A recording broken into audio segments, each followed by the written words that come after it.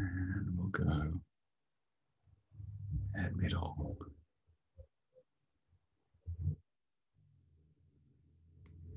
Hello, everyone.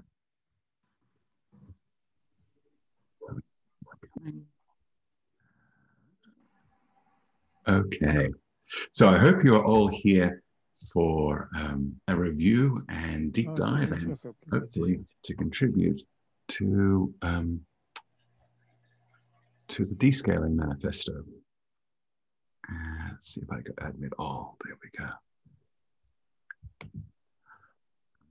I don't have anyone helping me with admissions, so uh, you know what you're in for. If you um, haven't seen this thing before, I'm all surprised. Um, it's kind of new. We've got about 500 signatories so far, but um, this is a living document, and I want you all to think of yourselves as um, see as as if you're in the room for the original Agile Manifesto.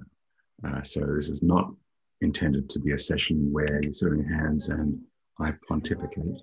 This is intended um, something where you go, wait a second, Pete, that doesn't make any bloody sense at all.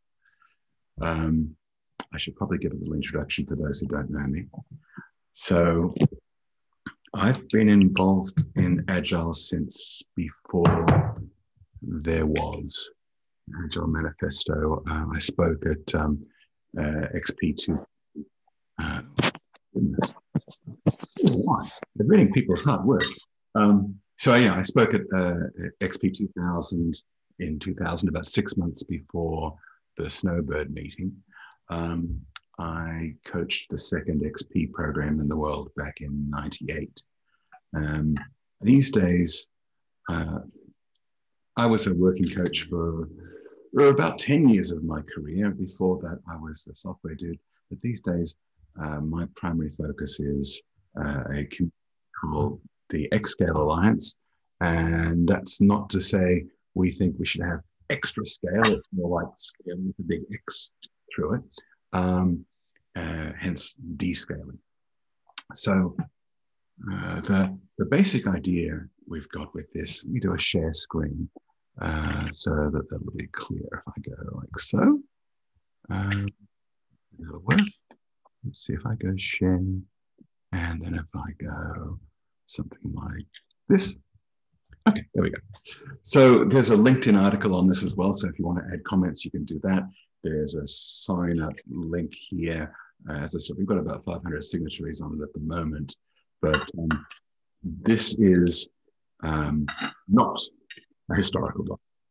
Uh, this is intended to be something where we can uh, take a step beyond software um, and draw on more than just um, uh, the history of the Agile movement, because whether you know it or not, there was a pretty strong influence on the original manifesto uh, from something called permaculture, which was created by two countrymen of mine. I'm an Aussie, um, uh, Bill Mollison and Dave Holmgren. Uh, they came up with it in the 70s. We can trace Agile back a lot further than that. 2,000 years back to Lao Tzu, but it's actually more than 2,000, doesn't matter. Um, but you can't go and have a chat with Lao Tzu, and we were able to go and have a chat with Dave Holmgren. Uh, Mollison died in 2016. So um, I was anxious about talking with Dave because he's been a hero of mine since I was a kid. Uh, but we, we basically stuck the uh, let's see if I go back to it. Uh, we stuck this under his nose and said, Well, what do you think? Are we completely off the beam? And he gave us about two pages of detailed notes on it. And in the end, blessed it and said, As long as we are clear in tracing its affiliation back to his baby, uh, he's all for it. Now, that's a remarkable thing from a permaculture guy because they're very anti corporate anything. And the intent with this is this is the work we do as agilists. This is about facing down bureaucracy in the businesses that we work with. So, uh, hang on, hold on, some more people. I don't know why it keeps on popping back to that screen. I don't intend it to, but anyway. Okay, So, to set some kind of form around this session, we're recording this. If you don't want to be on camera, please turn off your video. Um, I encourage anyone uh, to duck in with any question at any time. And I'm not going to police the one hour session time that I put on this uh, uh, very much, except that I want to give some sort of breadth first view of what this is about out in that first hour. But uh, if you want to stick around and contribute ideas back and forth, uh, I am all for us doing that together. And uh, I don't have anything on this morning apart from the session we just did at um, the Meet the of the patrons of the festival, Getty. Um, so, um, so if you want to stick around, I'm all for it. Um, any questions yeah. before we start? Yes, sir. This uh, NCO's name at the 754 is Sergeant First Class Dodd. Ah.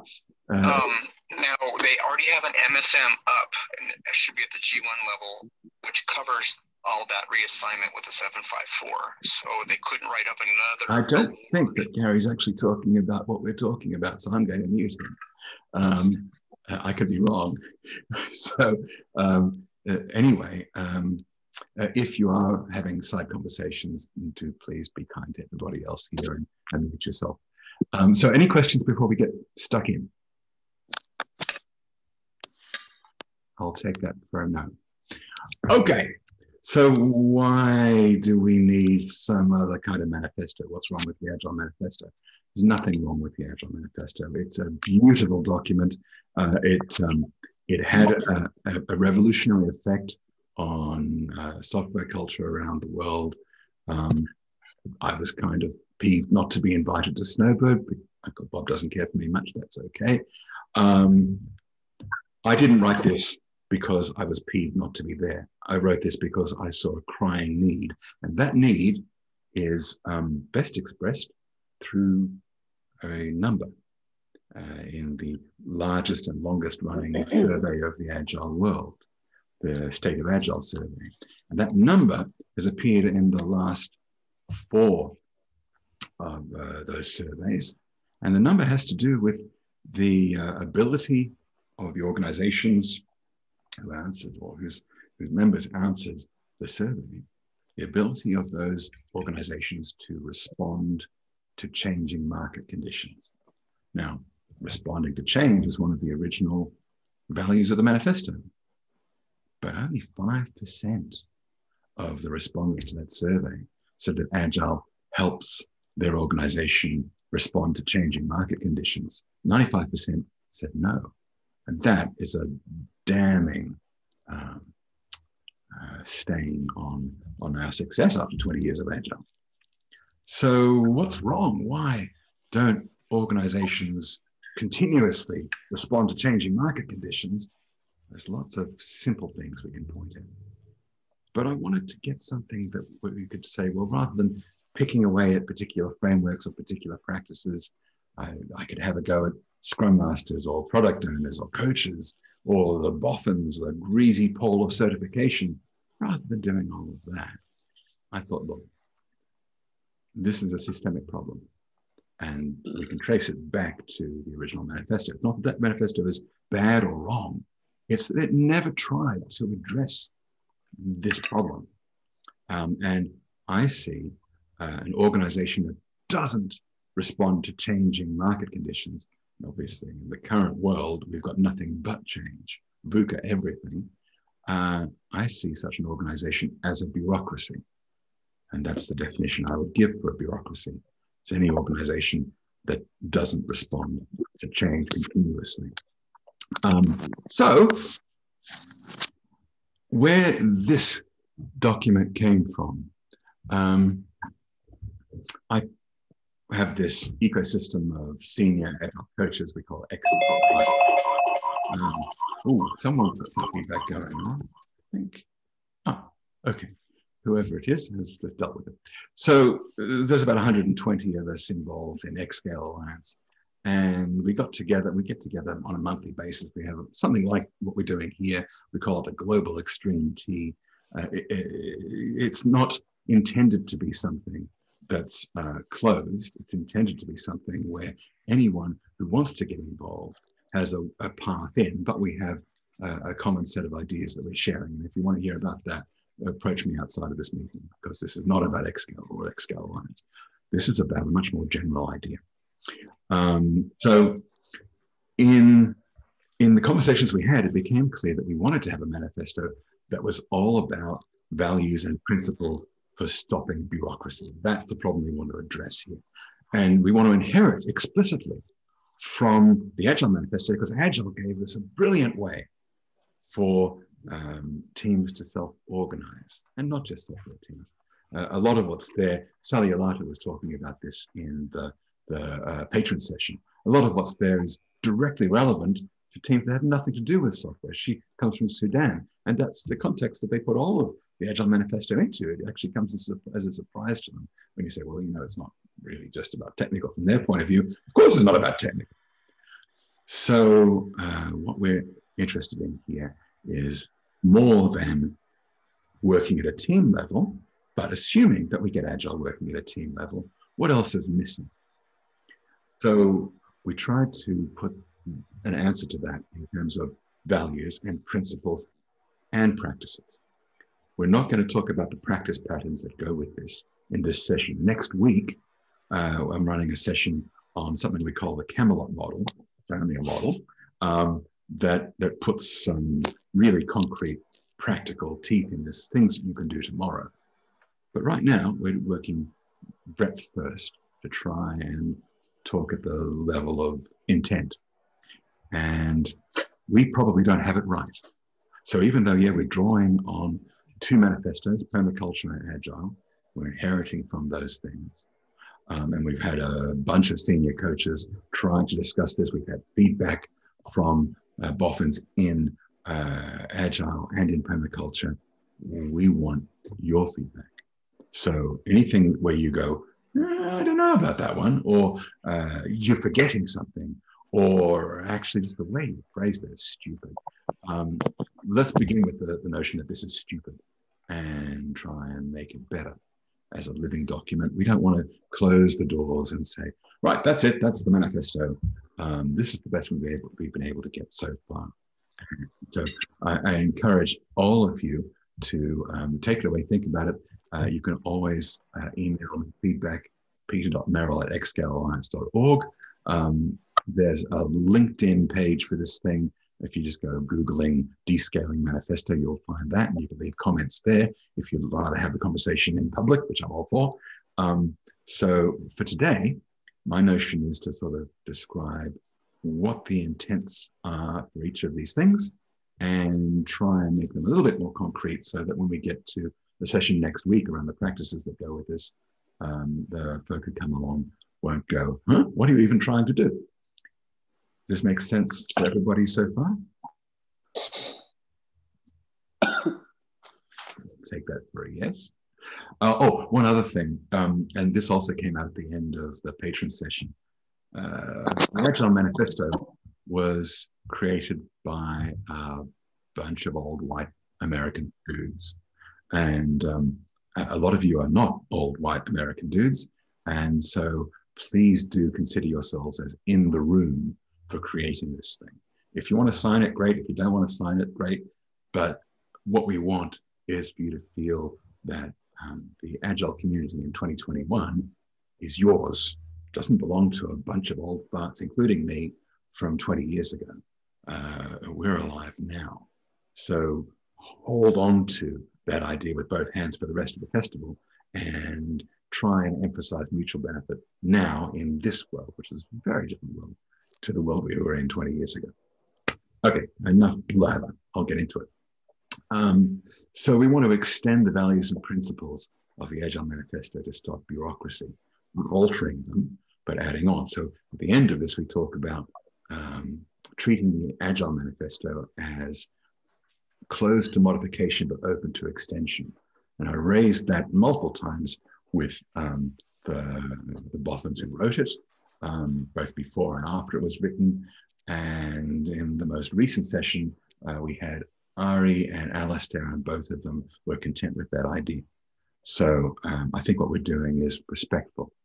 But if you feel it isn't, it's my problem, not yours. Okay, uh, so um, we've talked about what we mean by bureaucracy. I'll give a couple of quotes. Um, if we think of agile as a revolution, uh, Kafka said that all revolutions evaporate, leaving only the slime of a bureaucracy. Um, you might think of certain frameworks as or, or, certification uh, uh, totem poles, greasy poles, as the slime of a bureaucracy. Or you might see that in the organizations that you're working with who have had transformations, which are kind of revolutions, and that have uh, only left slime behind. Um, so if we think that that slime of bureaucracy is, uh, is a problem to solve, that's kind of what we're going at here. Um, there's also uh, Jerry Pournelle, the, the late science fiction author, died a couple of years ago. Uh, he had a, a, a, uh, an iron rule, an iron law of bureaucracy that he put um, in his long running Byte column that basically goes in every organization, there are two kinds of people. There are the people who care about the purpose of the organization and try to make that better. And there are people who don't care about that purpose. And his iron law is that all organizations evolve until they are controlled by the second type of people. That might make you feel doomed. Um, there's a beautiful site called uh, The Evolution of Trust by a fellow named Nick Case. If you just go and Google Evolution of Trust, you'll find it. Um, that provides plenty of reasons to think that you're not doomed. We're not doomed. We can do an awful lot to fix bureaucracy. How? Well, let's begin with values and principles, and we can talk practices next week.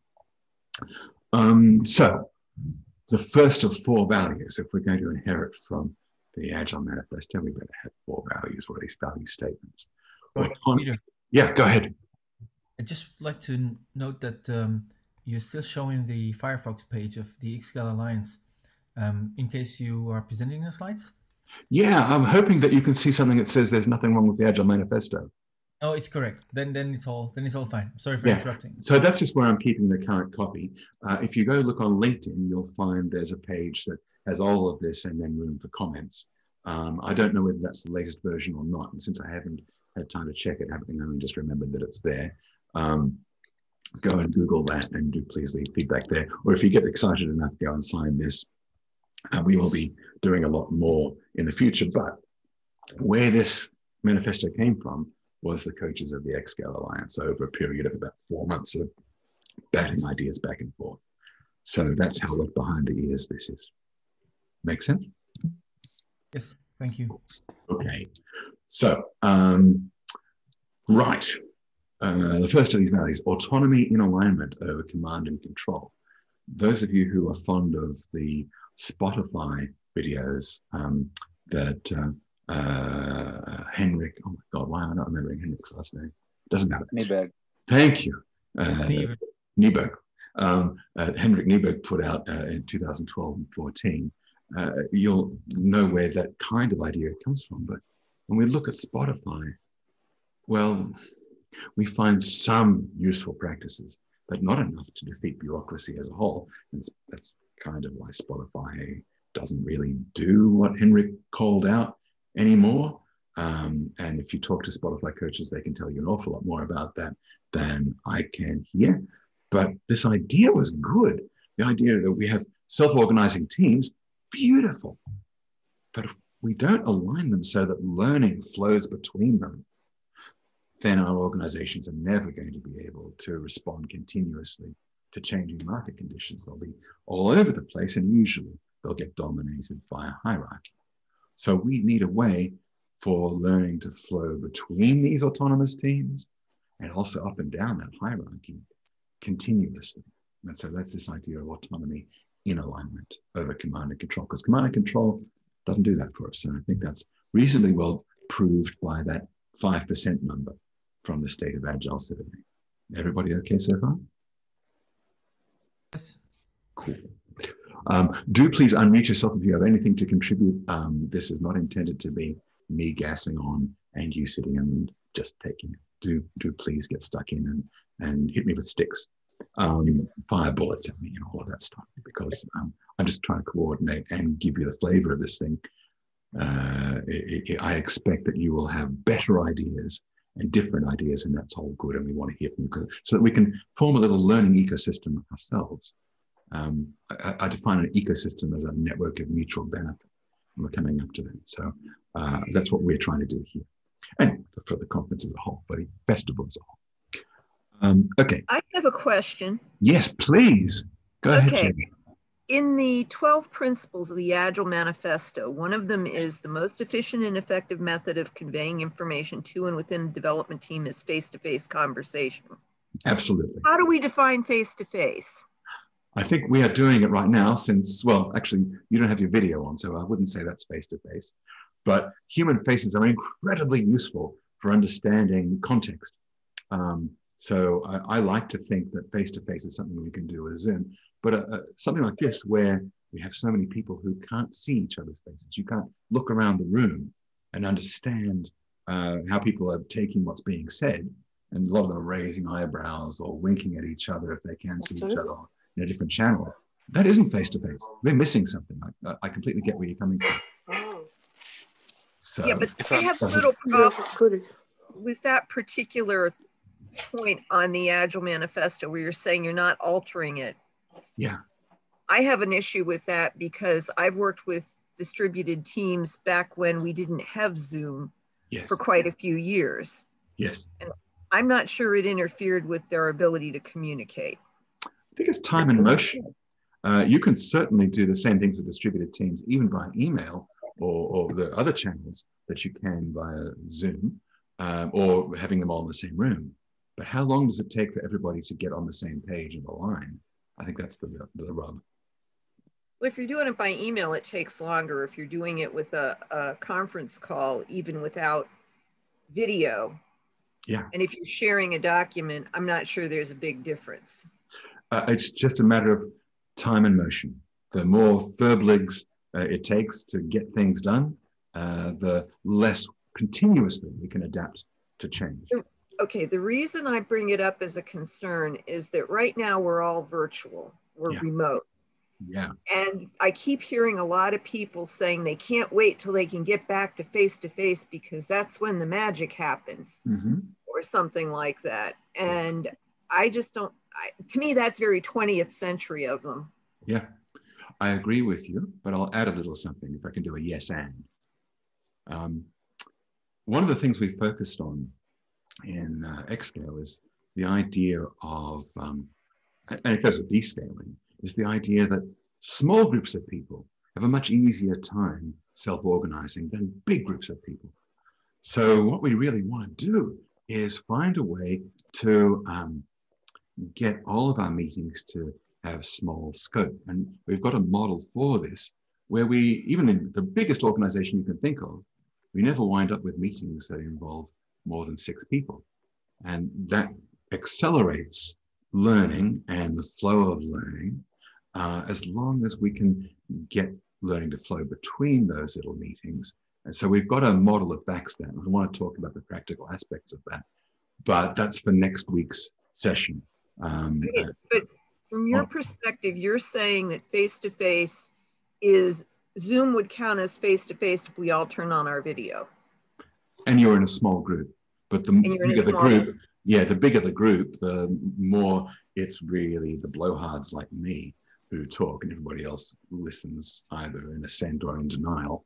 Uh, I don't think we share learning that way. We have to get people aligned uh, uh, across uh, all of those little conversations, those little groups to make that really face to face.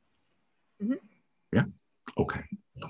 So, if it's okay, I will move on. Peter, just just on that one, hopefully it will help people. Is um, mm. um is it worth to say people have different different cognitive styles, so therefore, uh, our ability to learn, our ability to communicate, is not exactly the same all across the board. So yes. when when I hear something like face to face, I'll admit I prefer face to face because I I I learn a lot from body language. Um, I know when somebody says something is fine or it's fine, but when they write an email, I can never never tell if it's fine or yeah. just did they forget an emoticon? Um, yeah, so I, I, believe it's it's a different cognitive styles and people um, like to communicate in different ways. What you got to do is look at the group of people. It's usually easier when it's a small group Mm-hmm. To work out, do you need to have a camera on? Do you have to have it off? Does emails work best? Do videos work? So um, there is, you've got to always look at that in the situation of the people. You might find um, that um, people work okay without these elements around. Um, and also the other thing is it doesn't mean the other communication methods are ineffective. Um, it is always stated as a preferred. It doesn't mean the others can't work. Yeah, so um, XP uh, pioneered this idea that we're going to have a war room, we're going to write on the walls, we're going to have everybody sharing context, we're going to do stand-ups, we're going to do retrospectives. All of that came from the first blush of Agile, and it was a lot of why that first blush was revolutionary.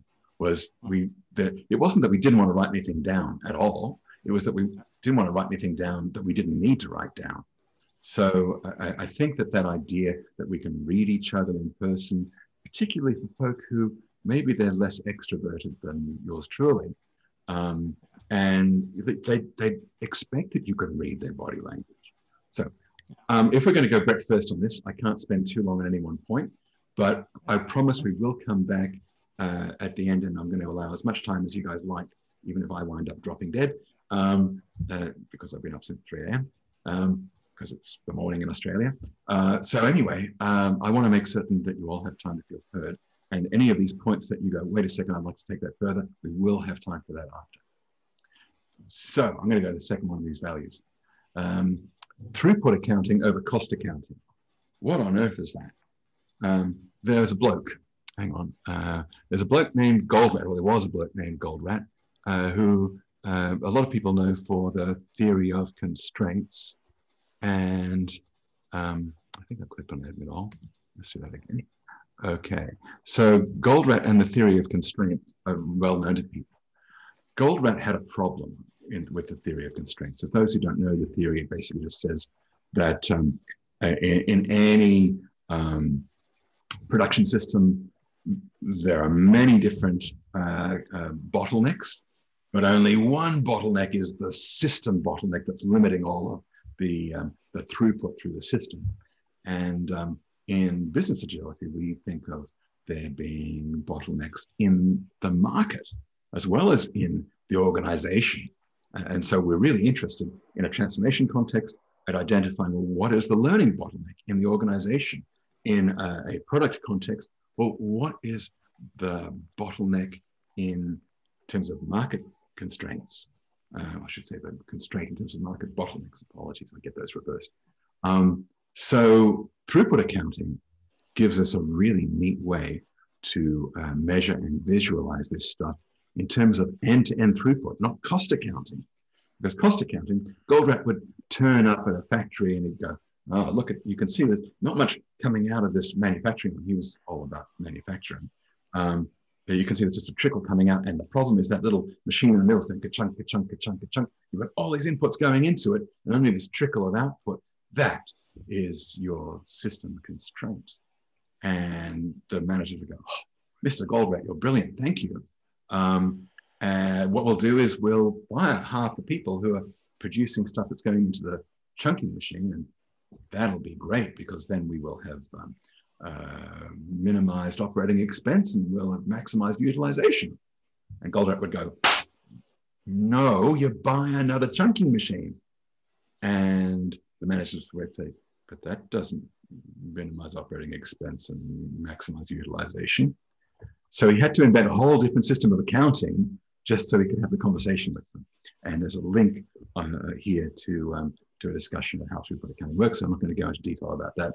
But if you're an agilist and you get anywhere near business agility, you need to understand throughput accounting and why it's superior.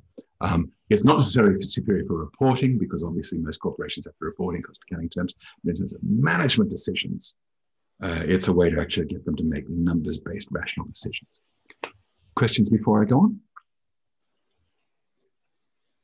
I'll take that as a, okay, we'll look it up. Um, pull-based delivery and change over push-based. Well, we talk about pull-based delivery. We're used to that in Agile. What's pull-based change? Most of the transformations we get involved with, uh, we get a whole bunch of external consultants to come in. We, we have the framework on the wall. We've got lots of rah-rah events, and we push everybody to all change at once. And I don't think I need to tell you that most of the time that makes a lot of money for the consultancies that, that push the change, and it leaves the transformation in a steaming heap of compromise. Um, I've been involved in some large scale transformations a couple of times as strategist, and I've found that pull based works really, really well. And it's a different idea. The idea is we want to, often you can use an open space for this.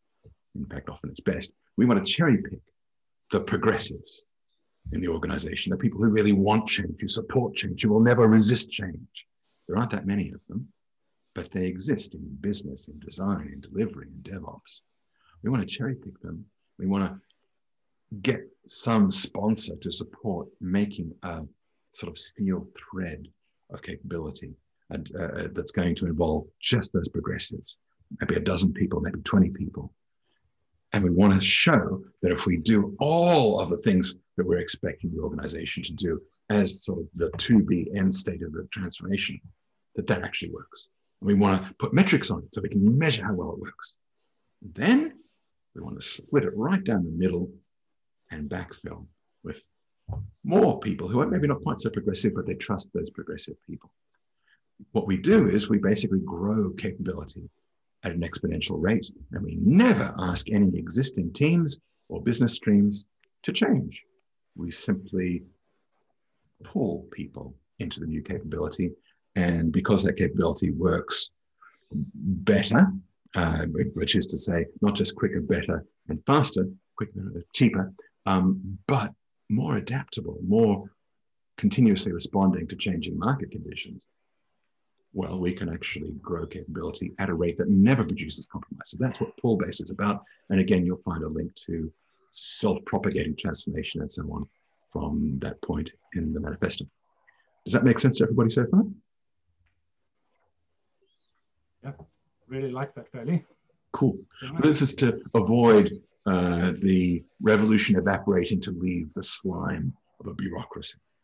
Um, I think those who've seen multiple. Go ahead.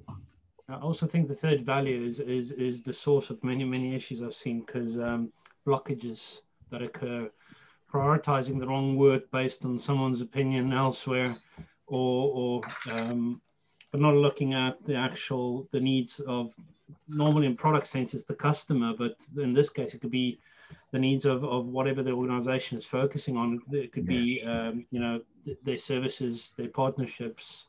Yes. Um, and the pool will prioritize the, the the highest value item without overloading the system. Yes. If, if that makes sense. So. It, it does. And we'll see some of that reflected in principles. But the next point is really sort of where that goes. And since I'm trying to get a, a, a breadth first overview in the first hour of this, so everybody can go, oh, that's what he meant. I, I had to tune out after that. I'm going to keep going if it's okay, Cornelius. Cool. So, learning ecosystems. We define ecosystem as a network of mutual benefit. What's a learning ecosystem? Well, the idea is that it, when we are trying to induce change in an organization, there's often an us and them thing going on with the change agents and the change recipients. Um, we don't like that language too much. So what we'd like to do instead is think that what we're doing in that pull-based transformation idea is we are iteratively converting change participants into change leaders. What we want is for the organization to fire us because they don't need us anymore as external change agents. We're trying to put a wick in the candle that'll then be self-sustaining. And that's why we need a bunch of metrics around it. And you might go, wait a second, I don't like that. That means I'm, I'm going to be out of a job. Yeah, it does mean that. And it means that you can get a whole bunch of recommendations from the people who loved the fact that you actually landed the transformation and you'll get more jobs. So the whole idea here is not let's put our nose in the trough along with the full timers. Um, the idea here is let's actually give them what they want. They want business agility, the capability to adapt to changing market conditions. That's why we got hired by a change sponsor like Guarantee. They didn't hire us because they want a scrum. They, they might go, well, scrum's what I've heard of, so I hope that it does that thing. But from their point of view, agility is business agility. So learning is fundamental to this. We have to get the organization into a shape where it can learn continuously. from changing market conditions and make decisions rapidly. If we make a decision once every three months, that doesn't qualify. If we have a command and control hierarchy that makes the decision for us, that doesn't qualify. How can we measure the quality of a learning ecosystem? This is where we have some simple metrics. I'll, I'll rattle off a few of them. Uh, there's more to say. We will talk about this more when we get to the Camelot model stuff next week. Um, what's the maximum meeting size that the organization has to have for any decision in the organization to be made?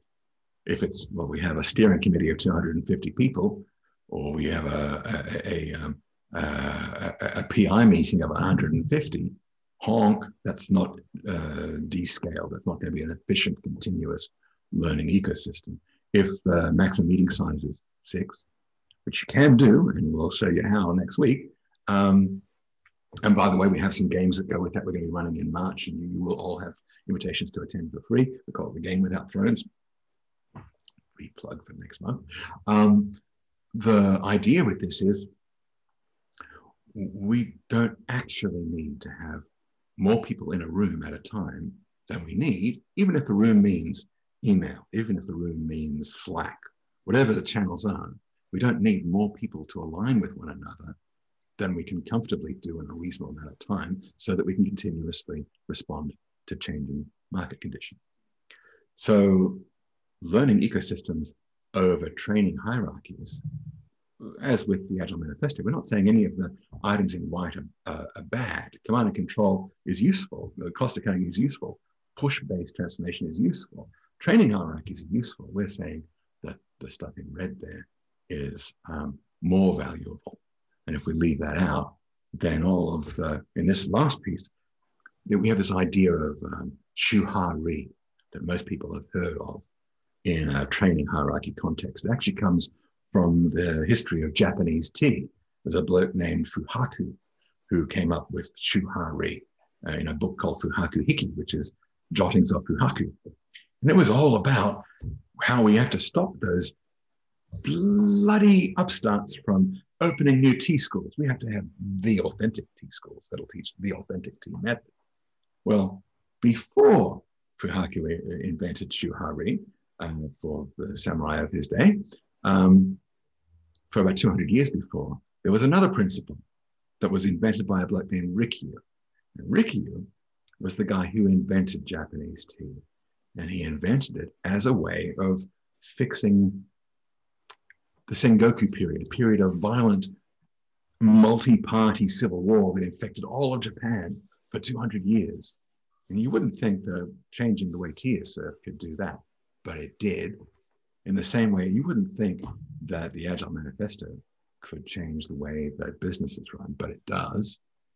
Um, so, in the sense uh, that Agile is a tea service, this idea of Muhin Shu, it literally means um, no host and no guest, but you can think of it as no teacher, no student. We want to share learning.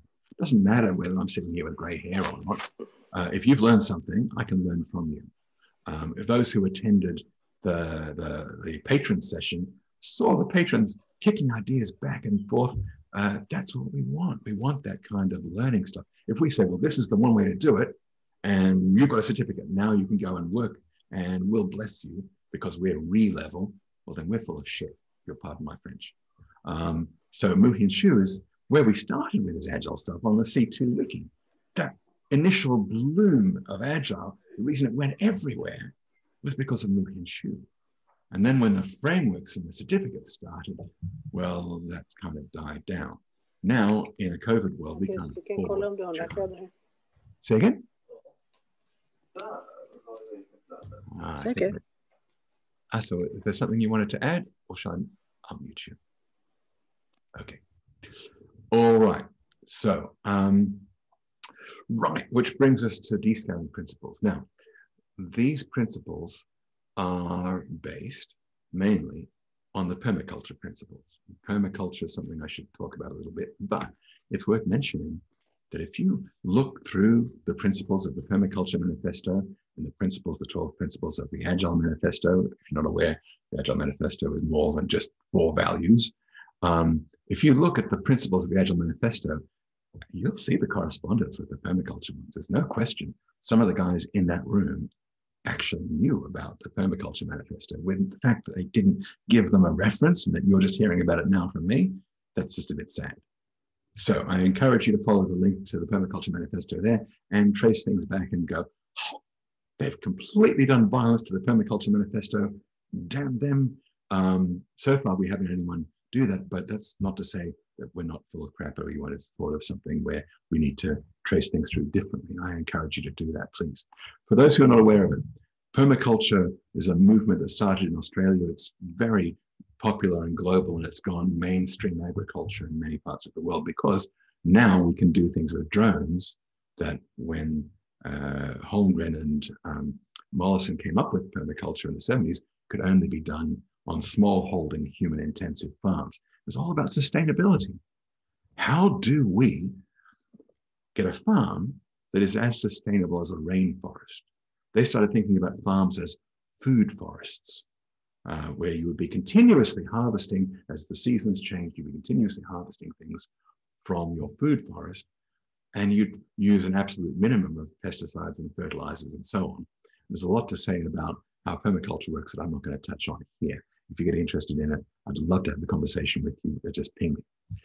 For now, I'm going to go through these principles from our perspective as agilists working in corporate farms um, and see whether we can make them more humane and sustainable by thinking in these principled terms. When it comes to the praxis that goes with this stuff, uh, as I said, we're going to be talking about the Camelot model and its practice patterns next week.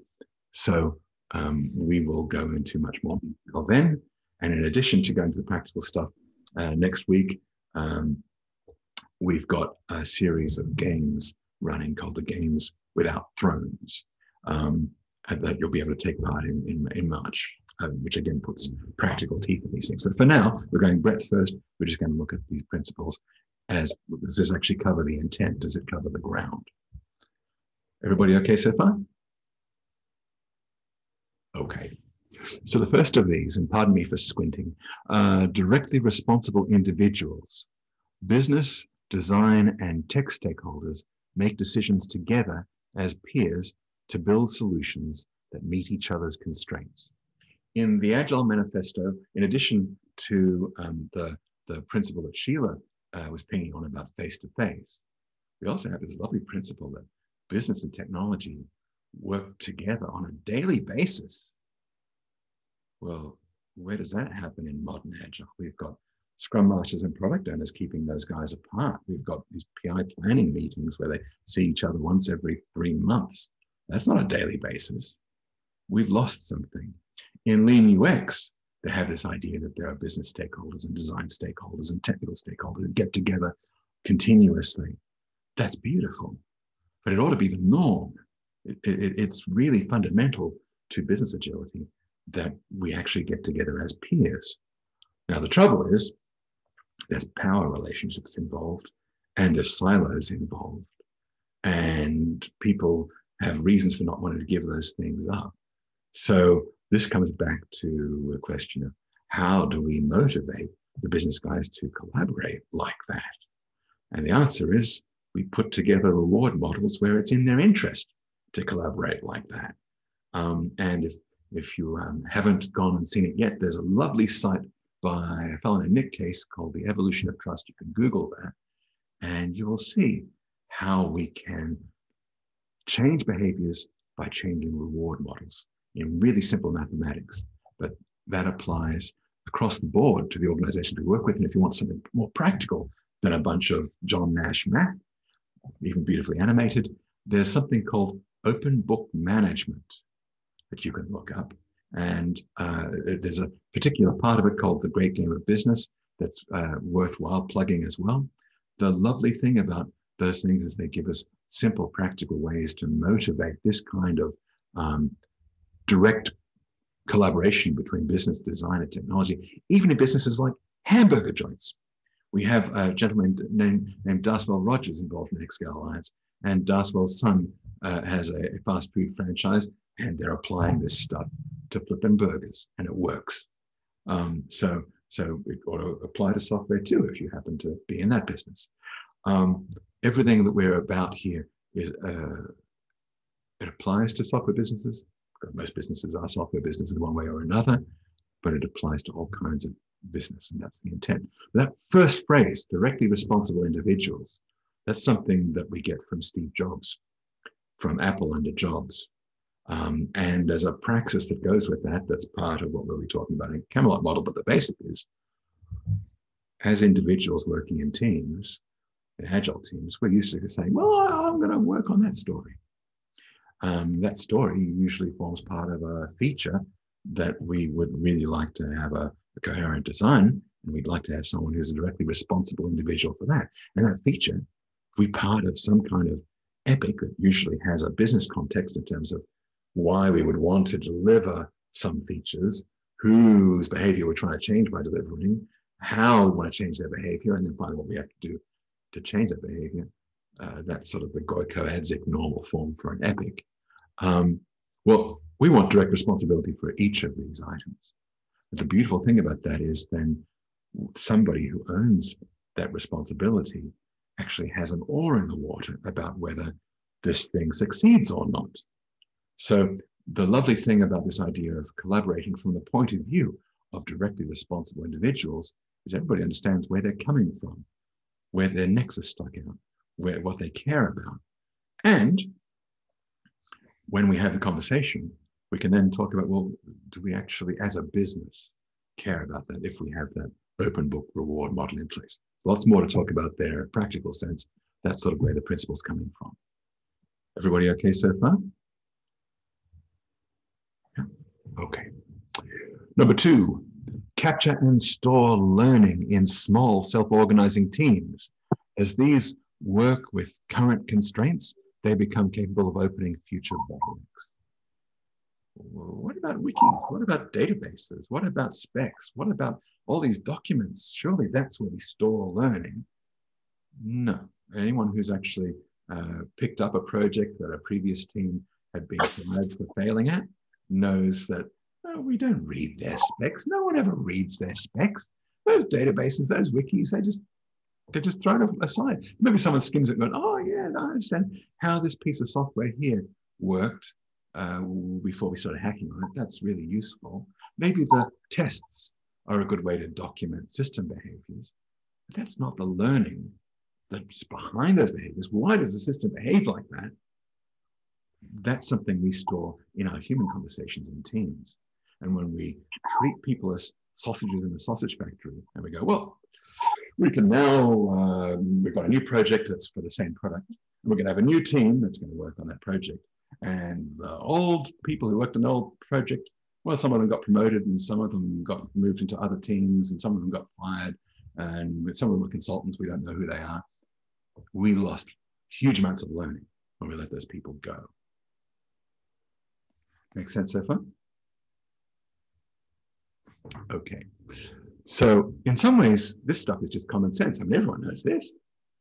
But when it comes to the people who make the decisions, they fail to observe these principles over and over and over again. So for some people who are not us, uh, this is a big deal. And so coaching this kind of principle into an organization is also a big deal. Okay to move on? Yeah. Number three, work on outcomes. Teams continuously prioritize the current bottleneck, quantify their contributions to top line business throughput, and minimize work in progress. Actually, I think there's a word wrong there. It should be current constraint in in um, uh, material constraints type. But that's sort of the, the the constraint is the the biggest bottleneck or the, the dominant bottleneck in the system. So I think that word's wrong. As I said, this is still wet behind the ears. But work on outcomes. How do we prioritize the current constraint in market terms? I'm not, I'm not going to be this interactive because we're trying to do this in the first part in, in, in an hour, um, but uh, we, we will re return to this if you want. There's a bunch of metrics called the pirate metrics. The reason they're called the pirate metrics uh, is um, uh, the acronym is AARRR. Um, they they were invented um, uh, by uh, I know I'm tired when I can't remember names. A guy who ran uh, an incubator called 500 Startups in San Francisco who kept getting dud um, bad um, uh, business plans across his desk. Um, it's Dave somebody. I know the dude. Yeah, it's killing me. It doesn't matter. Uh, it'll kill me. Uh, anyway, um, the idea is AARRR stands for acquisition, activation, retention, referral. And uh, Dave, whose last name I can't remember, it's killing me. Dave's last R uh, was uh, revenue, but we'd like to make it return because return could be learning. Um, there's lots of things return could be. It's the reason that's worth doing uh, a, um, an ecosystem uh, or a, a, business of some sort uh, at all. So these metrics, you need to be able to acquire people into your business ecosystem before they can be activated. That's to say, you have to give them some value. You uh, need to activate them before you can retain them. That's to say, you need to know who they are uh, well enough that you can actually build someone for their behavior. You, you need to retain them before you're going to get re- referrals, and you need all of that before you're going to get returns. So this defines the most general formulation of uh, a, a, business ecosystem. Um, and the lovely thing about this is we can say, well, one of those is going to be your constraint at any one point in time. There might be other things that are your constraint too, but we can actually measure and quantify those things. So if we want to work on outcomes and continuously prioritize the current constraint and quantify teams' contributions to top line business throughput, we can quantify it in those terms. And that gives us a beautiful way, and along with the, the Goldratt formulation of throughput, it gives us a beautiful, which we apply to return, gives us a beautiful way to say, okay, let's reprioritize. You know, we have product owners and they get very wedded to the existing priorities. They have had a lot of meetings with, um, with our uh, business stakeholders. And in those meetings, um, our product owners, uh, they've had a lot of battles. So they don't want to continuously prioritize. We lose all of our business agility because of that. So if we are not going to continuously reprioritize, we're doomed. We need to have metrics that everybody shares that will help us understand what the current constraint is. Now we've got all of eight minutes in the first left in the first hour, so I'm going to go long, and you can stick around or not depending on what you want. I'm not going to hurry because I think that hurrying doesn't help. Um, but um, uh, we will have, we do have a recording of all of this. So uh, if you feel like you got shortchanged, you can listen to the recording. Um, so I'm going to keep going if everybody's okay. All right. Um, that last bit, uh, quantify the contributions to top line business throughput and minimize work in progress. Well, obviously, we, we love minimizing work in progress in Agile. We're used to that.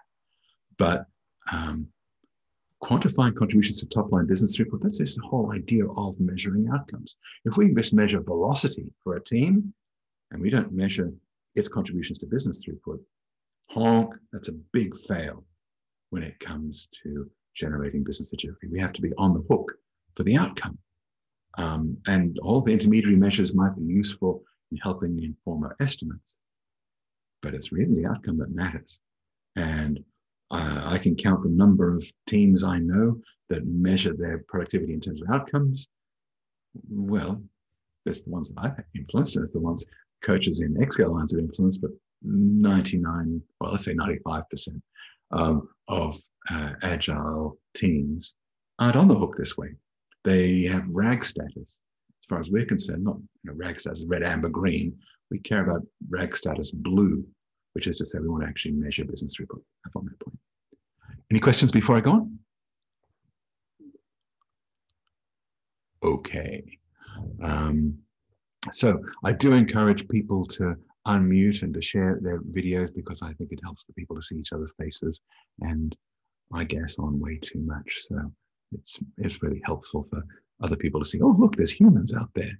Um, and and don't unless you've got real background noise that's going to interrupt us, do feel free to to unmute as well. Um, I would much rather feel like we're all in the same room if possible. And since I can't see all your faces at the same time, at least hearing your breathing helps my morale. Um, Okay, so um, let's see. Next one uh, align small groups of teams into self managing business streams that continuously adapt their work priorities to changing market feedback. Whoa, self managing? We just stepped off the edge of the agile world.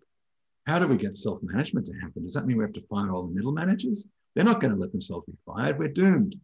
Um, no, we don't. Not going to go fire the middle managers. They're incredibly useful people. They've been promoted for being really clever and really wise and understanding where the bodies are buried. And we want them on side. So self management mm-hmm. has to be about this idea of alignment. To get self management to happen, we're going to need to get everybody's voice to contribute to decisions. We have a little practice pattern we're going to go into depth on next week, or practice pattern language, which is a toolkit. This idea of a pattern language was always too fancy language for, for just, just a toolkit. Um, call it leadership as a service. It has three simple patterns in it. Directly responsible individuals are one of those patterns. Um, so the, the idea is um, we want to change the way meetings work. So that instead of going, okay, there's our manager, we have to influence our manager to make the right decision. Instead of doing that, the manager gives up just a little bit of power. They get to be the chairman of the meeting, or the speaker, if you're thinking in, in, in terms of uh, uh, Haudenosaunee stuff. But let's leave the Haudenosaunee out of it for a moment. If you don't know who Haudenosaunee are, we'll talk about them next week as well. Um, but we want the manager still to be the manager. But what we want is that if everybody else disagrees with the manager, they overrule the manager. If the manager can give up just that much power, they can't lead by influence. If they have to use their authority to overrule everybody else, that's a problem. Now, there are some cultures where that won't fly. That's okay. We can say, well, the manager still is going to have to bless the decision, but we'll have a little speaker of the house internally to our group before we actually propose something to the manager. If the manager just doesn't listen to uh, anything his team says, well, his or her team says, then that manager's bloody stupid and they're going to wind up turfed out anyway. Um, so, this idea of self management is about how we get our little teams to align with one another or get representatives to do that. Ooh, does that mean scrum of scrums? We all hate scrum of scrums. Scrum of scrums doesn't work. It's never worked. It's always been bloody time consuming and stupid and difficult. Um, no, it doesn't mean scrum of scrums. Uh, there are ways to get people to align across groups uh, that are time tested, that work. And the best of them is known as quality circles. So, what we really want is to get representatives of quality circles to get together and try to align. And if you think about Spotify uh, chapter meetings, uh, it's really just an adaptation of quality circles. And if you don't know either of those things, the stuff we'll talk about next week. Everybody okay to get to go on, or any questions so far? That's good. I have an issue. Yes, go ahead. When you talk about having the team being able to override the manager, if mm-hmm. everyone has the same set of information, that might make sense. But a lot of times, the manager has strategic information they're not at liberty to share with the rest of the team. Yes. So this is where directly responsible individuals becomes critically important. The idea is, um, in leadership as a service, that um, if the team is not unanimous in its opposition to one of the team members, well, then that team member, as a directly responsible individual, in this case, directly responsible for strategy, um, well, then they get to make the decision. Simple. Now, that's not always going to work. There are many organizations and many contexts where the manager has to be able to overrule. That's fine. The idea is these are practice patterns. We only apply a pattern when it solves a problem, not when it creates one. So if I say good, Sheila? Well, I guess it's the same concern I had with the other concern I brought up that a lot of these things sound good when you use them as a guideline, but they tend to get carved in stone in a lot of organizations. Yeah. So once you say this, unless everybody understands that this is that there are exceptions. Yes. uh, it, it's sort of the road to hell is paved with good intentions. Absolutely agree. And that's where you get things like the Zappos experience of holacracy. I'm not knocking holacracy per se or any of the patterns in it, but when you take it as an absolute, and they lost what 20% of their staff because uh, they said, well, this is the way we do things, and if you don't like it, hit the road. Um, so, and that was in one year. So um, I completely agree with you. And that's part of the reason why we're calling the practices that go with this stuff um, the Camelot model, because of that quote out of uh, Monty Python and the Holy Grail. It's only a model. It's something to be dispensed with when it doesn't suit. And the practices, you don't have to do all of them, or you don't have to do them exactly as written. They're only a way of saying, hey, there are some well proven solutions to some of these problems. If they don't suit you, don't do them. If you need to put that quote at the bottom of the page. Okay. Beautiful. I what, shall what's do. Interesting. Yeah, what's interesting on that, Peter, is um, people forget what principles are uh, at times. Principles are things that guide you. It guides your decisions. It guides your thoughts. When you do something, the principles help you it's it's it's not a rule or the law of the land but if you can get as close as possible then things get better so a lot of people have principles they put in place um, but they're not there yet. These are they'd like to get to the point where they live and breathe all the principles. Yes. So absolutely you will have exceptions but um well, these are guides i also want to back up sheila on the fact that we're talking about stuff that is off the map for a lot of agile. So we have to be experimental about this. And that mm-hmm. Game Without Thrones game that we are running in March and that we've been running for the last five years, um, we've run this for groups up to the biggest we've done was 110 in Toronto in 2018. Uh, back when we could get together in a single room, we did it with Lego. Now we do it online electronically with Miro and Discord. But um, the neat thing about running these as experiments on small scales is that we don't actually need this self-management stuff to happen for a whole organization. If we can get it to work for just a single program, maybe 60 people, maybe 100 people, that's already a mighty leap forward. So if we play with it experimentally and go, well, this stuff works for us, this stuff doesn't. I'll give you an example. Um, uh, Kamad Atatreyan is one of the Xscale coaches, took uh, this idea into College Board. And they don't have, uh, they have all silent, they don't have any cross-functional teams. So they adapted it so that uh, the quality circles were really how they were able to get these silos to uh, represent at a decision-making council. And they rotated people through that council. Um, at the same time, the manager could still overrule, but they got a flow of learning they didn't have before, and they love it. So, uh, looking at it as something where uh, we can do this on a small scale, we don't need to do this for a whole organization. This is not push, this is pull and we'll only apply the stuff that we need to solve the problems we have. If Yagni is fundamental, those who are not familiar with XP, you aren't going to need it. You either need it right now or don't do it right now. That's kind of the fundamental. And we actually have that in the principles too. So that's coming up. So, Peter, is it is it worthwhile saying that um, on that case, if the manager or the the the the, the leader who knows the strategic mission that he's not for some bizarre reason allowed to share with the people executing the work. Um, if he always overrules every decision they make, then there's a fundamentally a bigger problem that you need to solve. Where if it's the red herring, that might be okay. Uh, I'd expect a good leader to convince me. Trust me on this one. I can't tell you why, but we've got to do it.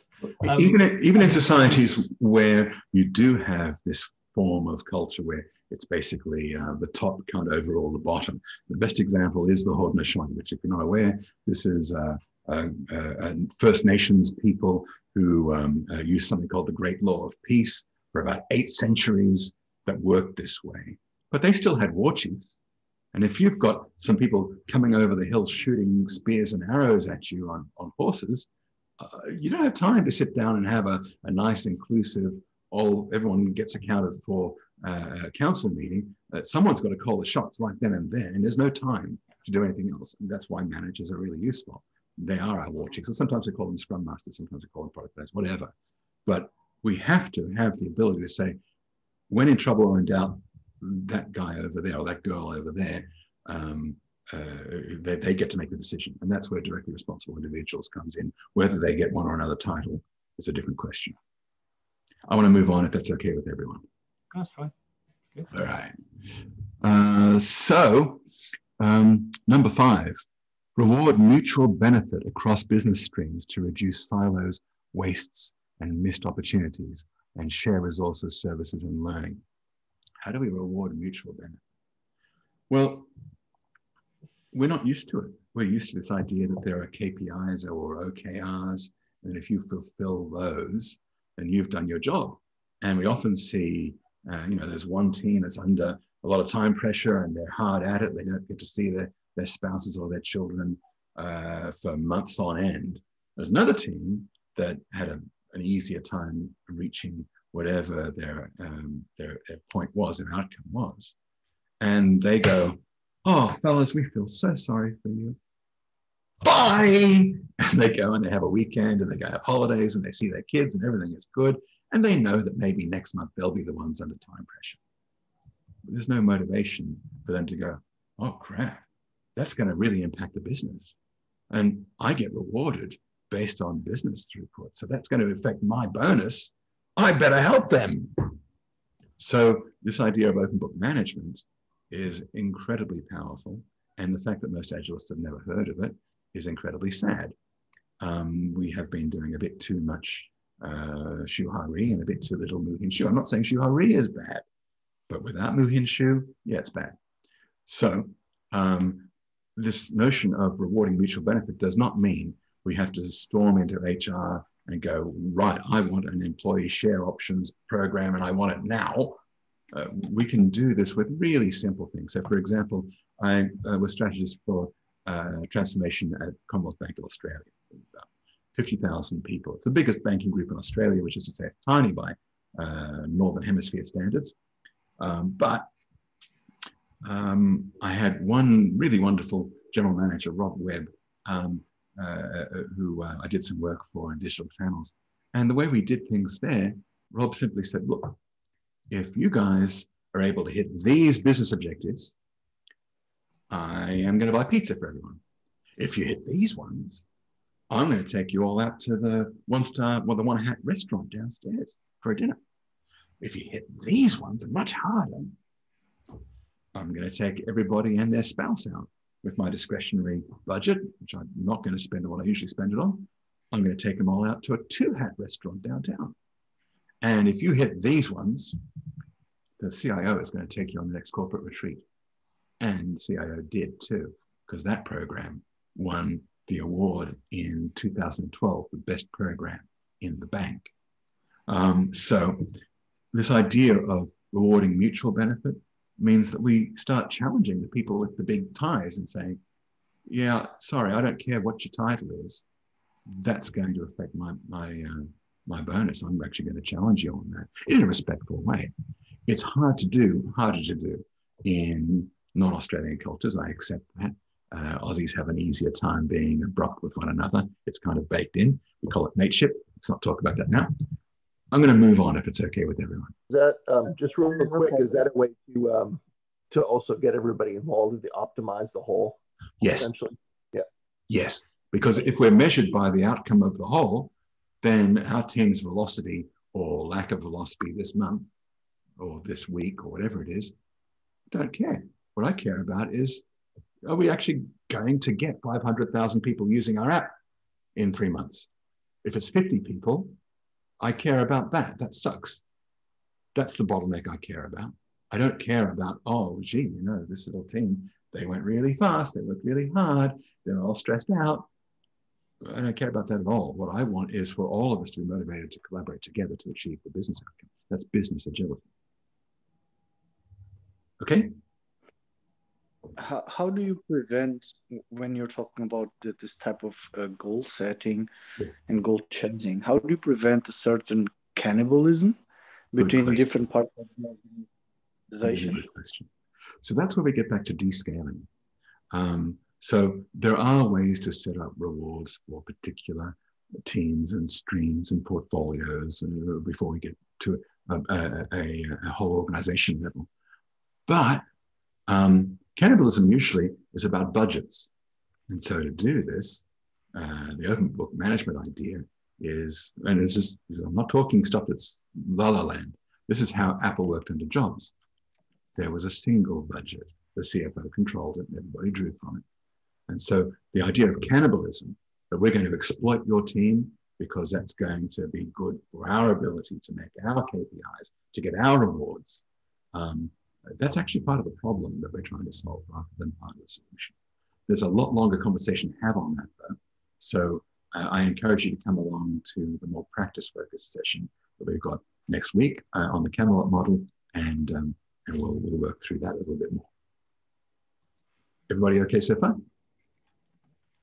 Okay, uh, so uh, number six, mercilessly refactor business streams. Reuse, recycle, or reduce all the resources the stream produces so all contribute to top line throughput and none go to waste. That's an awful lot of words. Let's start with the most difficult of them, uh, refactor. Uh, back in XP days, um, I'm an old extremo, uh, refactor means improve the design of existing systems without changing their functionality. And it was usually about eliminating duplicates and unnecessary dependencies and making the code self-documenting and so on. And the notion was we had to do this mercilessly. Uh, uh there is um, some lip service to refactoring in things like, uh, I'll actually name it, uh, SAFe. Um, but um, merciless refactoring? No, they, SAFe says that refactoring is something you have to prioritize and schedule and, and get the approval of the business to doing refactoring.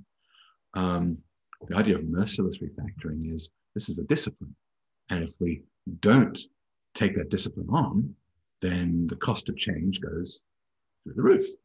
And that's as true for organizations as it is for code. We need to be mercilessly refactoring our organizations how do we go about doing this refactoring work? Well, uh, if you come along to next week's session, you'll have some ideas about it, but there's more to say. Uh, nevertheless, this idea of refactoring is that, well, we have duplication of effort. We have teams with overlapping responsibilities or streams with overlapping markets. And if we can't refactor in such a way that we're going to account for that, we're not going to get the kind of business agility we need. One, one hand of our business isn't going to know what the other hand's doing. Um, so then this neat thing about um, we, we want this to happen so that business streams uh, will reuse, recycle, or reduce all the resources they produce. So all contribute to top line throughput and none go to waste. I'll give you a, a concrete example, although you can obviously think of something like Amazon, where they went, hey, we've got all of this extra provisioning of servers so that we can have the quality of service that we need to have. Uh, maybe we can use all that extra, extra provisioning to offer something we'll call Amazon Web Services. That'll use all those extra servers and maintain our quality of service. Uh, well, now today, Amazon Web Services is worth more to Amazon than their entire retail operation that those servers were intended to supply. Um, there's lots of other examples, but um, if you can't think of any, then there's a long conversation out there too. But basically, this idea is if we have some resources we're producing that are going to waste, well, either we can say, well, let's not produce those, or we can say, well, let's put them to use for some other customer. Let's reuse them. Or we can say, well, let's find a way to take advantage of them ourselves. So if we can't do that, that's when we have to eliminate them we might go, well, that just means uh, lean. Lean says we, have to get rid of uh, seven wastes. No, this is waste in a much more concrete business sense. It's where we're producing stuff. It isn't wasteful in terms of slowing down our productivity. It's wasteful in terms of us not making full use of it. I'm going to go on to point seven. Um, okay, so design breadth first step back and see patterns uh, in and between markets and value streams. These inform designs we can only detail as we learn more. That's a big bloody deal because we have people all over the world who are dealing with long story backlogs. We call them product backlogs, but they're full of all little ticky-tacky stories. We've analyzed the shit out of these things, if you pardon my French, and a lot of those stories will never get prioritized to the point we'll actually do something about them. They'll just sit there getting pushed down the backlog. We're wasting a lot of our analysis. There is another way to do things. And again, it observes that old XP principle of Yagni. You aren't going to need it. We don't need to break an epic down into features unless we need to plan a release of those features. So there's a whole bunch of epics that simply don't need to be broken down into features yet. They're not relevant to the current constraint, market constraint for our business. Yes, they are important, but we don't need to break them down yet. Likewise, there are features we don't need to deliver yet. We don't need to deliver a feature yet. Why would we break it down into stories? You aren't going to need those stories. You break this feature down when you need them. We work breadth first. And the beautiful thing about this is that then when, when change happens, and you know change will happen, and this year and last year is happening right under our feet right now, well, we can actually adapt to it because we don't have too many bloody artifacts to change. We work breadth first to be able to do that. So uh, this idea, of design breadth first, step back to see the patterns in and between markets and value streams. These inform designs we can only detail as we learn more on point seven. Well, we have to be able to uh, take our new priorities and use those in context. So if we don't have a breadth first view of our market, or if we're talking about a change program, our market is the organization we're in. If we don't have that and maintain it breadth first, we are going to get bogged down in the weeds. And then we will have used up all the budget for the transformation and we won't have got the outcome that the sponsor wanted, or all of the budget for the program, and we won't have got the market that the business wanted. So breadth first is critically important. How do we do that in a Kanban sense? Um, we're not going to go into this now, but if you're interested, you can go and have a look at an article on LinkedIn I wrote called uh, 3D Kanban, where we try and apply this stuff in a concrete way. We have some more stuff coming out about that and some tools that go with it.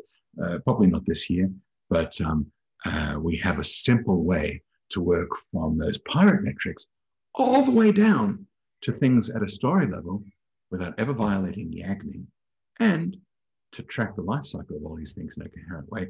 And you can do it yourself with cardboard on a wall. You don't need to buy any tools to do that. I'm not trying to flog you a tool. We'll come back to that one again. Everybody okay with that? All right. And I should say, I'm not just watching Cornelius, but Cornelius pops up because he's the only one who's got his microphone on. So if the rest of you would like to add some stuff, do please turn your microphones on and I'll at least see you nodding or shaking your head. Okay, so number eight, collaborate rather than delegate. People and teams are in the right relationships when conversations evolve to support each other's work and learning. Um, I think you are all keenly aware of missing conversations that are uh, in your organizations. Uh, oh, uh, you can see this whenever you walk into a, a team room and it's quiet.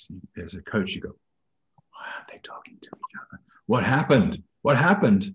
Um, uh, if we're doing this via Zoom, again, I encourage everyone to keep their microphones on because then we can say the conversations aren't being had. I'm not trying to read the chat, I hope you guys are having conversations in there.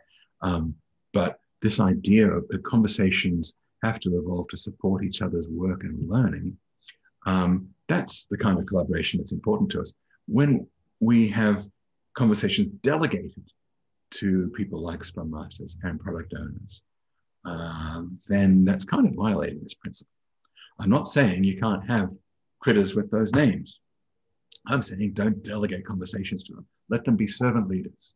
I want a product owner who's going to be a servant leader for a meeting between business and design and technology stakeholders. I want a scrum master who's going to be a servant leader for their team. And that's where that leadership as a service thing comes in. It gives us a praxis, a, a set of pra- simple practices that the team can use to keep the Scrum Master honest to make certain that they can self manage. So we, will play with that in next week's session on Camelot model. I apologize if the street sweeper outside is making too much noise for you guys. Do tell me if you can't hear me. Um, okay, so number nine, Take time to simplify and automate solutions. Simple automated systems cost less than big manual ones, taking less work to maintain business outcomes. This is another response where it's blindingly obvious. Of course, we should automate. Of course, we should simplify. But it doesn't happen. Um, Alliance published a, a, an article through me uh, last year as part of a course we're working on called Xscale DevOps. DevOps course. Um, uh, we call it the zeroth law uh, of, of DevOps. You know, there's the, the, sorry, the zeroth way of DevOps. There's the three ways of DevOps. And it's purely this. Um, take time to simplify and automate solutions. So the trouble is the business will say, we don't have the budget for it. Well, that's where this works in with this idea of open book that we care about outcomes. And if we don't continuously, mercilessly simplify, which is the same damn word as refactor, it's just a simpler, it's a refactored version of the word refactor. If we don't continuously, mercilessly simplify our organization, our systems, our way of going to market, then we're going to be outcompeted by people who do. Um, if we don't automate everything we can, same thing applies. We're making a rod for our own back. We're not saving someone's budget. This is why outcomes have to be our focus in business agility. Number 10, use and value experimentation. Experiment to reduce risk and adapt each product to the changing constraints of your business streams and markets. This does not mean value in the sense of oh, we love experimentation here. No, this means let's actually work out how much it will cost us if we don't run these experiments. Let's put those costs in terms of uh, uh, um, expected monetary value. Um, the EMV calculation is a ridiculously simple way to calculate the cost of not experimenting. Let's put those costs in front of our manager and say, hey, you're saying don't run experiments. You're going to cost us all this money. Why are you wasting money, Mr. Manager? Managers have a very hard time refuting any argument that's put in terms of costs. So if we value our experiments in monetary terms, well, the EMV calculation gives us a, uh, uh, this is Reinertsen uh, invented that, um, gives us a really simple way to make the case to the point that the manager, if they don't want to spend that out of their budget, if they have budget control, well, now they have to explain why they want to waste money uh, that means they have to come up with a way to value the experiment themselves. That's great. You come up with a better calculation than EMV and value this experiment. We'd love that conversation. Far, so good. Okay. Um, number 11. Now we get into the really interesting ones. Enrich interfaces to serve underserved markets, the spaces between market segments are where most opportunities for innovation and productivity occur we have business stakeholders who just care about their KPI, their silo, their particular business stream. And they don't look beyond that. Um, and we have portfolio managers. They go, well, I've got all these business managers who are managing these streams. I don't need to worry about the market. Those guys are worrying about it, missing conversations. So the spaces between these things are enormously valuable. And this is where you get things like an Amazon Web Services, motivating people to actually think about the market, not about the current business stream. We want all of our reward models to encourage that kind of thinking.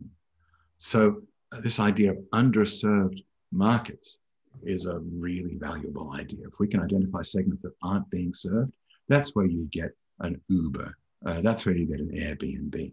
Uh, I'll give you a, a concrete example. Um, Domino's, the pizza guys, over the last decade, they grew faster than Facebook and Apple and Google all put together. How did they grow faster? You'd think for pizza would be a pretty saturated market. In America, it is. They took pizza to China and India. They used exactly the same franchise models, the exactly the same supply models, all the stuff they knew how to do. They just changed the menu. In India, you get pizzas now that are full of curry. Not saying curry is good or bad, but they they cater to the local palates. You get Szechuan pizzas uh, in China, probably not. I think Szechuan's an invented flavor in the West. Doesn't matter. Um, they changed the offering, and they went into new market segments, underserved ones. Because guess what? Pizza is popular everywhere. You just have to get people an idea that it's going to give them the flavors they like really quick. Fast food is a really valuable thing. So that's how they grew faster than the others, uh, than the other electronic market segments by looking for underserved markets. So, um, number 12, transform to embrace change. Continuously adapt your organization's patterns to changing market conditions and opportunities to open new markets. This is where descaling really comes into its own. We need uh, structures that will encourage people to share learning so that they can make these sorts of changes. And to give you a metaphor, I want to talk about two little examples and then uh, I'll open the, the floor to questions. First example um, Yellowstone National Park in, the, in America. Uh, in the 19th century, they thought that it wouldn't be a very hospitable place if it was full of timber wolves. They took out all the wolves. Uh, by the end of the 20th century, um, they had a lot of ecological problems in Yellowstone. Uh, the rivers were turning into marshes, and a lot of the, the little creatures, the birds and the fishes and so on, uh, they were their populations were plummeting, and so they didn't know what to do. There was lots of debate. Finally, someone said, "Well, you know, maybe it was a bad move to take the wolves out. Let's try introducing a pack of wolves, maybe a couple of dozen wolves. Let's try this experiment, see what happens." In less than five years, the wolves changed the course of the rivers in Yellowstone, which might sound unlikely to you. What happened was wolves howling at night can be heard by every herbivore in the entire park. And when the herbivores hear wolves, they change their behavior. Instead of hanging out by the water's edge and their hard hooves destroying all the habitats for little creatures and muddying the water, they go down, get a sip of water, and they run back up to the to the hills where they can defend themselves from the wolves. They don't know how many wolves there are. So change the behavior of all the herbivores in the park. This is called a trophic cascade in ecological circles. But it applies to business too. When Steve Jobs introduced iPhone, most of you guys went, oh, well, iPhone is that thing you hold in your hand.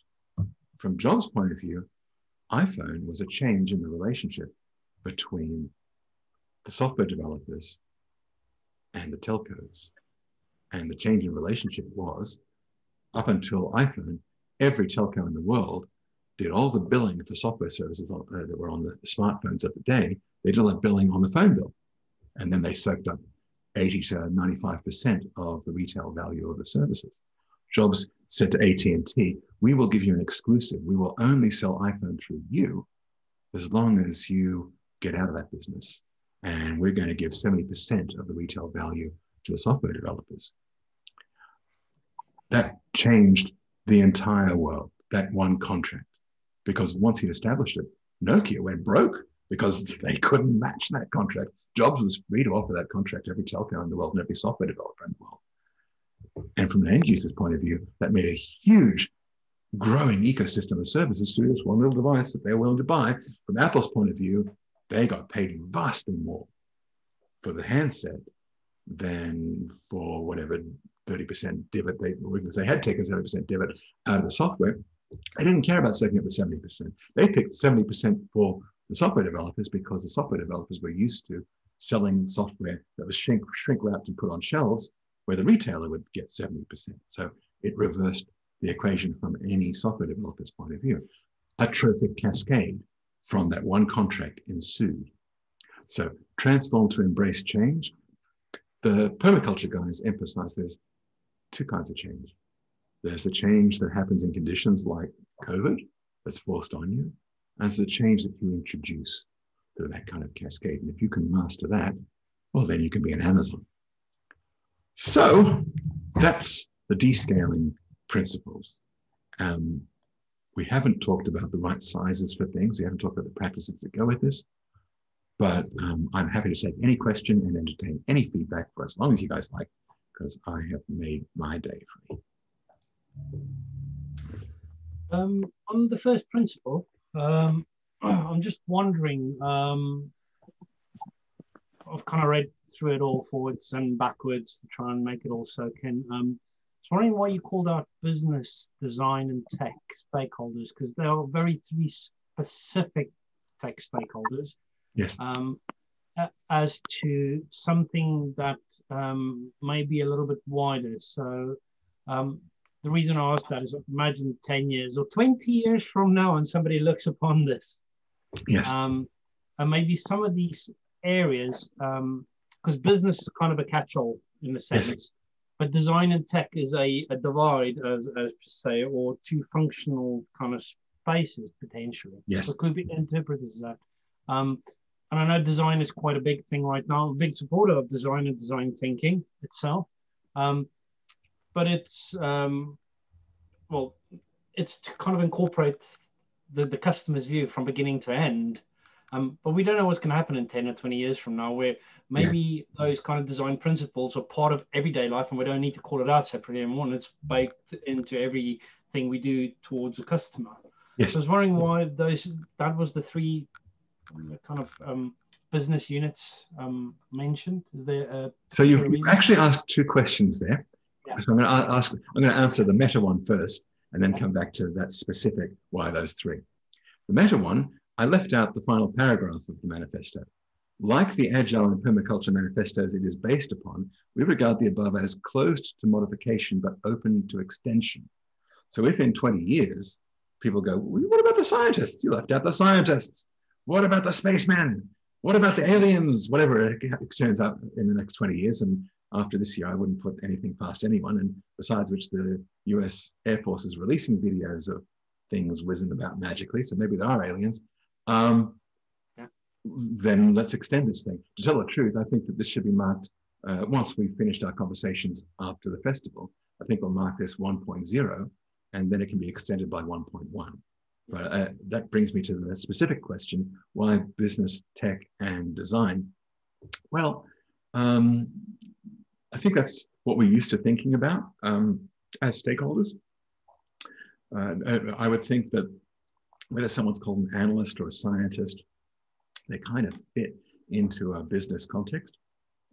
Maybe that's uh, not stretching it far enough. And I would be delighted, Cornelius, if you've got some alternate wording you prefer, uh, let's do something offline and see about going uh, and adding that in uh, before we get to the 1.0. Uh, um, I, I, mentioned at the start that we've got about 500 signatories at the moment. I encourage you guys to not sign it until you go, oh, yeah, that's, that's something I believe in. Um, but I would love to get feedback from you to help it turn into something that you would be willing to sign. Okay. Um, I'll, I'll pick my last question and then I think I've, I've, I've covered it. Um, well, it's not really a question, it's more a, a, probably a statement. The, the last one, the 12th, trans, transform to embrace change. Um, I'd like to think of that um, transformation recently as more continuous transformation rather than mm-hmm. a beginning and an end. I think in the past, transformations had a starting point and an end. Yay, transformation's done, we move off. Um, and the organizations have seen that kind of broken that view a little bit or evolved beyond that where its transformation is now continuous it's it's baked into the way we think the way we use build measure learn essentially to to guide our decisions and so therefore there's no end to the transformation anymore. Yeah. So and that's why we've got um, that's why we've got continuously adapt your organization's patterns to changing market conditions. Um, so I completely agree with you. Um, I, I, think with this one, um, the idea of continuous transformation uh, is basically saying, well, those scrum masters and coaches have a continuing seat at the table because we're going to need to continue to change. Um, so having a change program as a living thing uh, is, is critically important yeah, it's not the way I was thinking about it, to be honest. But yeah, I, I see your point because the idea of, of, of, the coaches and Scrum Masters is fundamentally it's that to try and make yourself redundant, right? So that the continuous learning is embedded and baked into the DNA. Yeah. Um, therefore, it's not needed anymore to be coached and guided. Well, that's where we have the idea of those roles as generating change leaders by being change leaders, which goes back to the original manifesto we're accomplishing this by doing it and helping others do it. Once we've helped them do it, we no longer have a role. Um, whether they have the title Scrum Master uh, or whether they uh, have the title Manager or whether they don't have a title at all, the whole point here is to generate a capability to uh, respond to changing market conditions. Kind of leave for everybody else to ask questions. I can keep going. Thanks, Cornelius. Somebody else? Hey, um, I, I, had a couple of um, things, but just on Cornelius's point, I, the word transformation and transform is also something I'm trying to avoid personally because it implies an end state. Um, so we yeah. tend to favor the words like mutate, evolve, yeah. iterate. Uh, Nassim has been using the word metamorphosis. Yeah. Metaphor, yeah, yeah, yeah. The, the sense of growth and and yeah, mm. iteration. Everything is iteration, right? Mm. Um, I like this a lot. This is, aligns a lot to what I've been doing. Um, but I am surprised by some things I perceive as absent to this. Cool. So one of the things that we try and land on a lot is around um, what the Standish group call like um, decision latency, right? And Boyd would have it be like loop speed, but the idea of just making decisions faster. That seems to be our, our fundamental principle behind everything on top of any other principles anywhere, just make your decisions faster. So I'm surprised to see that doesn't come across. Yeah, you're right. Um, particularly, and in some of the other thing that seems absent to me is the uh, idea about killing dependencies. Mm-hmm. particularly singling those out because they inhibit decision speed, right?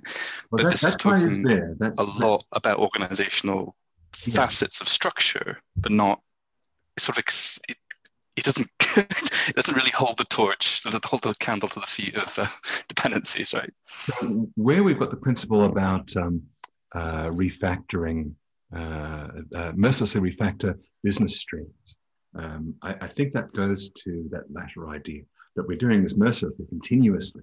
And we're, what, the reason we're trying to do this is specifically not just to speed up the flow of work, but to speed up the flow of learning.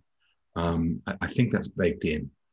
Okay, so you'd see it implicit to that. I, I guess then I just I would like to see it explicit. Yeah, I'm, I'm all for making it explicit. So if, if you can look at, at uh, six and also look at the permaculture one it's based on, um, and uh, then let's make some time, Alan, offline, or at least out of this meeting, and, and see if we can make it better. And I encourage that for all of you. If you've got a particular idea that isn't here, or one where you go, that doesn't capture it, yes, please, let's have a conversation. I, I, I don't really want to call this 1.0 until all the festival participants have had a chance to go, yeah, okay, uh, except for this. So, Alan, when you do that piece of wording on, on the dependencies, um, and I, am going to be a little bit playing devil's advocate over here on purpose because I actually spend most of my time to try and make those dependencies visible and then try and reduce them as much as possible.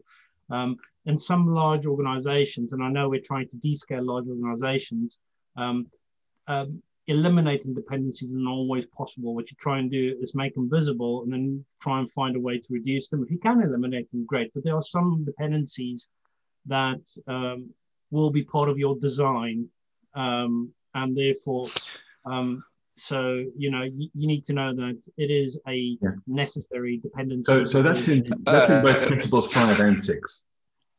Again. That's in both principles five and six. So uh, I think there's a longer conversation to have, and I'd love for the three of us to get together and have it, or anybody else here yeah. would like to be in that one. Because I posted somebody recently said, what would happen if we replace dependencies with um, partnership? There you go. So we uh, say we have a dependency with, um, you know, the guys that run X system and say we change it into a partnership. Then you look at the flow yes. and how much that partnership slows down your flow. And then if what you want to try and do is um, increase your flow or, or, decrease your lead and cycle time, if, if those make yes. sense to you. So um, in, in next week's in next week's session, you'll see how we use quality circles and rotating councils to generate treaties, um, working agreements for mutual benefit between different working groups and we can do this at multiple different scales uh, in a sort of fractal way as the main governance mechanism for the organization. So there's a lot of hmm. really neat, simple patterns we can introduce to do that. But in terms of principle, yeah, I think that's still baked in here.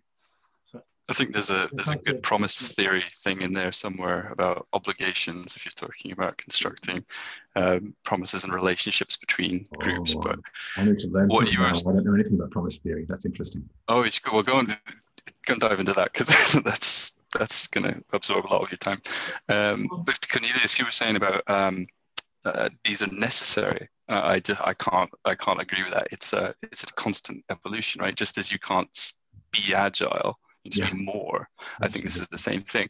You can remove dependencies, and you should just be hostile to them. That dependency exists now, and we can reduce it, improve it, but let's not ever tolerate it.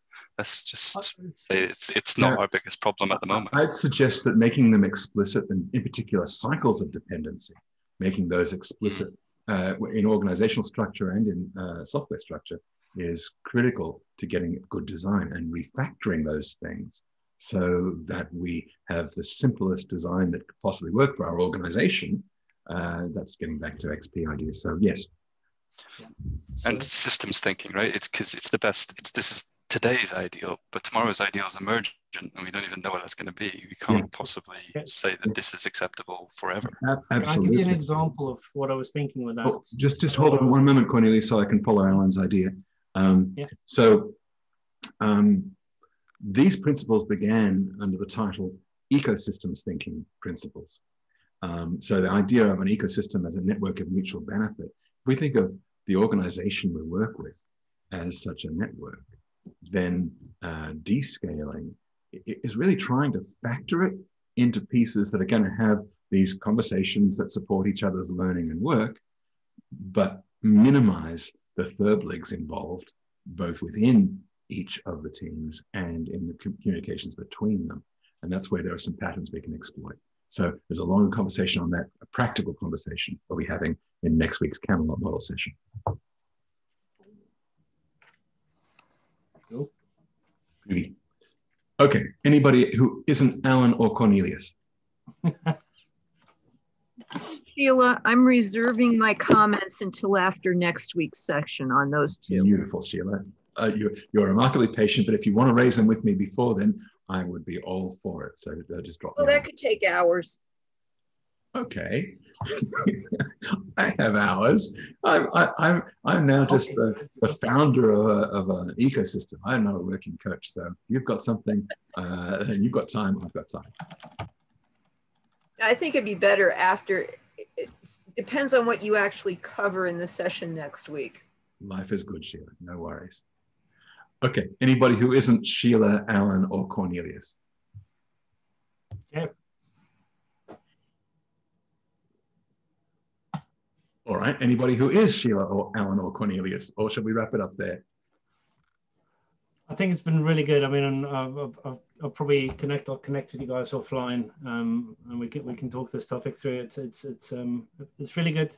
Um, there is probably the the fourth value is one that I think wasn't that that clear when I first saw it, and after you described it, so maybe that's something worth thinking of. Um, I like the fourth value. It's just it needs to make sense maybe to someone else who doesn't know what it's about. Um, but it's a really good session. Thank you very much. Fantastic, folks. All right. Thank you all for coming, and uh, I'll put the recording up as soon as possible. Thank you very much. Have a good evening. Take care. Take care all.